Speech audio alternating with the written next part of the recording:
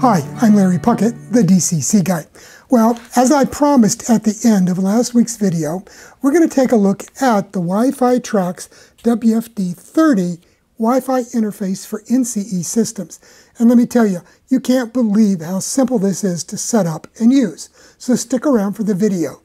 Hit that little red uh, subscribe button, and when the little bell comes up, click on it and click all.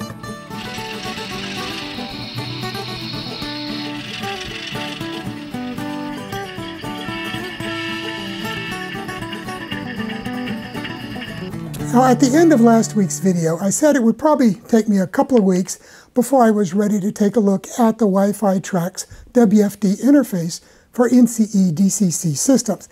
However, I took a look at the manual and it is so simple and easy to do that I thought I would jump right into it with a quick video on how to set it up and get it operating right out of the bag without really doing a lot of extra work. And then in a follow-up video in a couple of weeks, once I've had a chance to actually work with the device some and get a feel for how it actually works, then we'll take a look at some of the advanced features. For example, how to set up rosters within the unit, how to control accessories, and a lot of other things that are available without the necessity to use JMRI Decoder Pro for a lot of these advanced features. So let's go ahead. I want to pull this out of the bag show you how to set it up real quick and get started, and I'll show you how to use it with an iPhone, and I'll show you how to use it with the TCS UWT100. But I don't want this video to be a really long thing. I want you to see how easy this is to set up and get running in the convenience of your model railroad. So let's go ahead and get over here to the model railroad and we'll get it hooked up and I'll show you how it works. First, let's take a look at what you get in the package because there's not a lot to worry with. Uh, I've already opened it, obviously, and tested it before doing this video, but we'll do an unboxing here.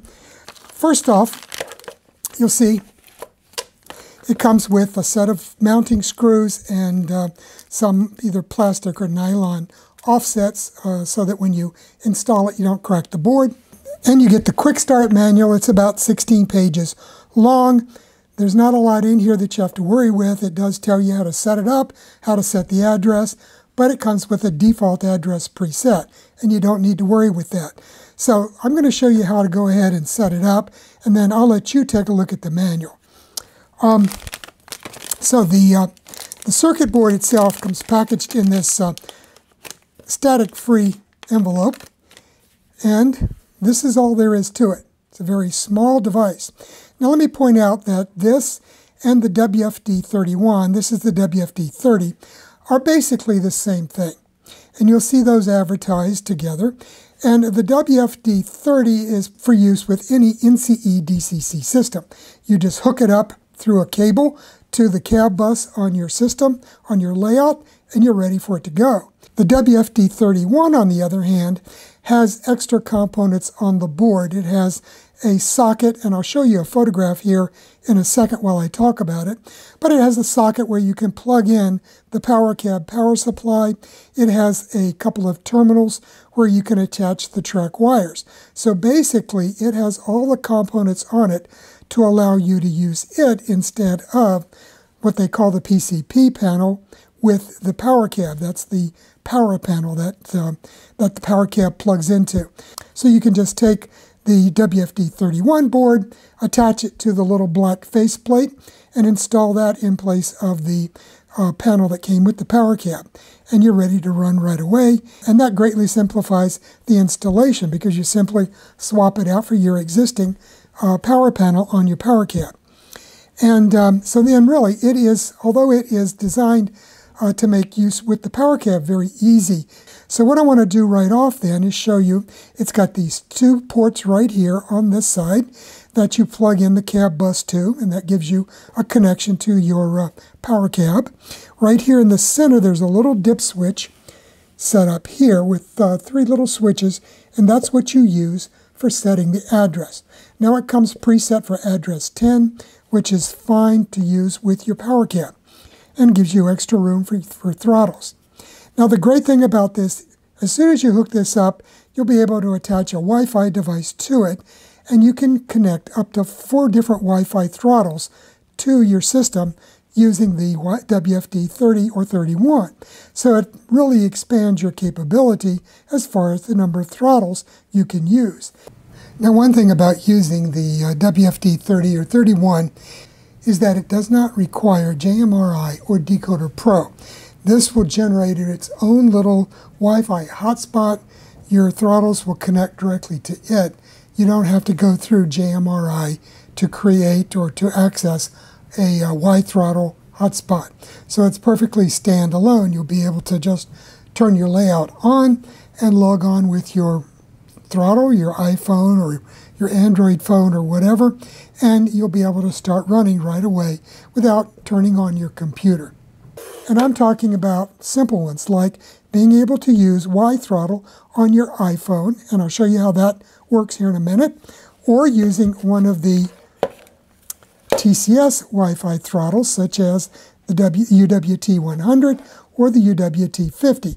And I've done videos on how to use these in the past, and I'll put links to these uh, above me here and also at the end of the video so that if you're interested, you can go back and look at those. And there are certainly other Wi-Fi capable throttles available on the market that you could use with this. So right now I'm going to concentrate on using the iPhone and using the UWT100 Wi-Fi throttles. So let's go over here to the layout, hook up the WFD30, and we'll see how it works. Now I'm going to be setting this up with my Aegis system, which uses the power cab, as I've shown you in the past. So what I have here then is the standard NCE fascia panel, where you would connect your throttles to it. You can see I've got my cab 06 connected right here. And so basically we're going to set this up just like you would any other uh, throttle on your layout.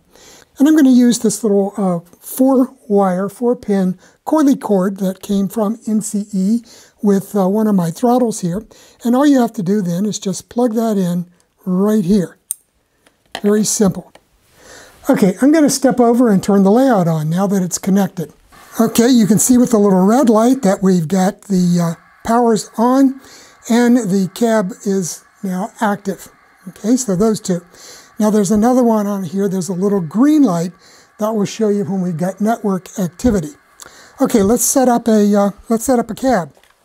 Now, when you're working with an iPhone or an Android phone, uh, you'll be dealing with an app, and these are available on the app stores. Uh, the one for the um, iPhone is called WiThrottle. The one for the Android devices is called Engine Driver. And they both work, excuse me, pretty much the same way. Uh, on the uh, iPhone, you have the WiThrottle Lite and the WiThrottle. The Lite is a free version that allows you to download it and test it out, see if you like it. And the WiThrottle here, that's paid for, it's a few dollars. And uh, that one is the full version that I'll be showing you today.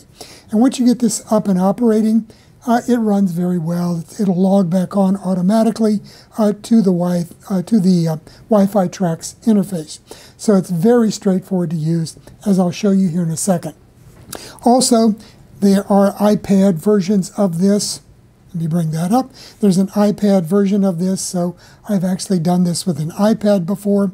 And in the past, I've done videos showing how to use this with uh, the uh, NCE USB interface to go through JMRI. But as I said, you don't need to use JMRI or Decoder Pro for an interface. You'll be using the WFD 30 or 31 interface completely. Okay, let's move on and see how this works. Okay, so the first thing you want to do is set up your uh, Wi-Fi connection. And that's done in your settings. And I'm going to go to Wi-Fi and wait for, um, and you can see WifiTrax WFD30 right there in the display. So that's active. So now I can go back. Oops, went too far. And we'll bring up the WiThrottle. Okay, so I brought up WiThrottle here, and we're going to select a locomotive. Now I can go from my recents list and I could pick 1363 this way and hit select, or I can go to the keypad and we're going to hit 1363 and we're going to hit set. Okay, and that makes it active. And then I'm going to go down here to my throttle. So we right here, we've got our throttle set up. Let's listen.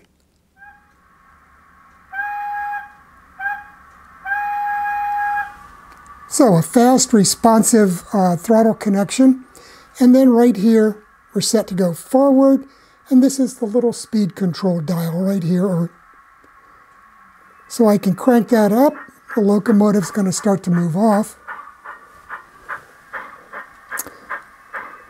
And if you watch, you can see that as this moves up and down, there's a little display right here on the button that tells you the speed step. So, whoops, hit the wrong button there. Okay, so let's crank it up in reverse. And we're on speed step 26, 49, and now I can bring it to a stop. Just like that. So it's a very responsive uh, way to control your locomotives as long as you are happy with using this virtual slider type control and your various functions. And there's different ways to go in here using WifiTrax and the settings of your WiThrottle here to set up uh, the different function names, that kind of thing. And we'll cover that later on in the advanced features functions that uh, I just mentioned earlier. Let's go ahead and switch on over to the UWT 100 and see how that sets up. Okay, so this is my UWT 100. I'm going to turn it on. You just press 2, press any button to get it turned on. And it's going to come up and tell you to press 2 to start, so I did that. And it's already connected to WifiTrax because I did play with this earlier. But to do that, you would go in here and you could scroll down, because that's that little menu setting, and, uh, and go down to Network Options and hit that. And you could add a network and it's scanning for the Wi-Fi there. So let's wait for it to come up with the WifiTrax. And so that's right there. So we're going to select it, and that's it. Okay, so we're connected to the WifiTrax, and it's already set on GWR 060. So let's see what it sounds like.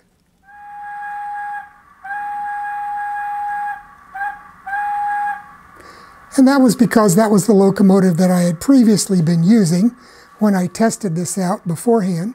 And it's got a nice thumb wheel right here. I like a nice thumb wheel to control the locomotive speed. I like this thumb wheel on the throttle better than the one that comes with the uh, power cab.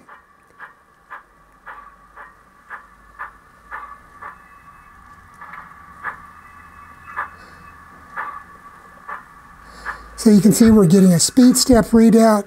It's telling me it's the 060, and we've got functions.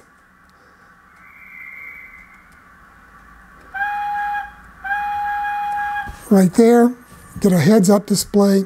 And I said, there's ways of setting these up so that the function would say uh, whistle and horn or whatever, steam whistle and, and guard whistle and things like that. You can see it says headlight over here. Um, in addition to that, it's got this 2859 right there, so you can switch back and forth between two active locomotive numbers here. So I can go with the 060, stop it, I can switch over to the 2859, which is behind it, and a little bit louder whistle on that booger. So you can easily switch back and forth. I really like these throttles because they're so quick and easy to switch between uh, locomotives like that. And also, as I said, because of the nice thumb wheel here. And of course, the other one has a potentiometer or an encoder. I'm not sure which. I'd have to check and see which one I bought.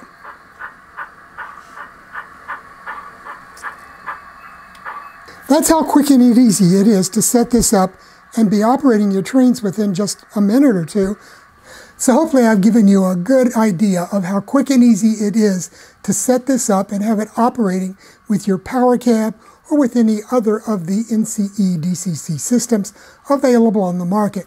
It literally just plugs into one of your cab ports on your fascia panel on either the front or the rear, and you're up and running just that quick, as fast as, as long as it takes to select it in the settings for whichever throttle you're using. And you can use it with your y, uh, with your iPhone using WiThrottle. You can use it with Android. There's a, a program for uh, Android phones and tablets called Engine Driver. And there are various other Wi-Fi throttles available out there on the market today that you can select from. And uh, I think this, you know, as I've said in the past, Wi-Fi connectivity like this is the wave of the future. A lot of the European DCC systems are now coming with their own Wi-Fi server built into the command station so they can use anybody's Wi-Fi throttles with them. Now, as I said earlier, in a future video, I will go back and take another look at this. We'll dive deeper into the advanced features and functions that come with it. But for now, this will get you up and running in just a matter of minutes. And had you using your UWT throttles from TCS or an iPhone or an Android phone. You could use an iPad. You could use an Android uh, pad of some sort. You can use all kinds of things like that. So there's a lot of capabilities with Wi-Fi. And the great thing about the uh, WifiTrax device is this was the easiest I've ever used. I've used the Digitrax uh, LNWI Wi-Fi server. I've used the one that MRC makes. And I can tell you, this one beats both of them hands down for connectivity and speed. So if you have a NCE DCC system, either a PowerCab or a PH Pro or one of the other systems they've manufactured, or if you belong to a club that has an NCE system, you'd be able to use this Wi-Fi interface at any of those or with any of those.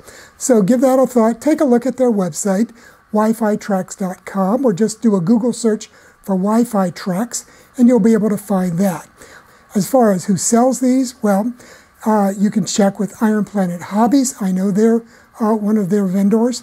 You can go to the WifiTrax website, and they have a listing on there of all of their dealers worldwide. And you can find a dealer possibly near you who actually sells these and would have them in stock. You could just go pick it up, or you can mail order it from one of the various vendors around the world. So that's it for today's video. Have a great weekend, a great week, and I'll see you here with another video from the DCC Guy. Bye now.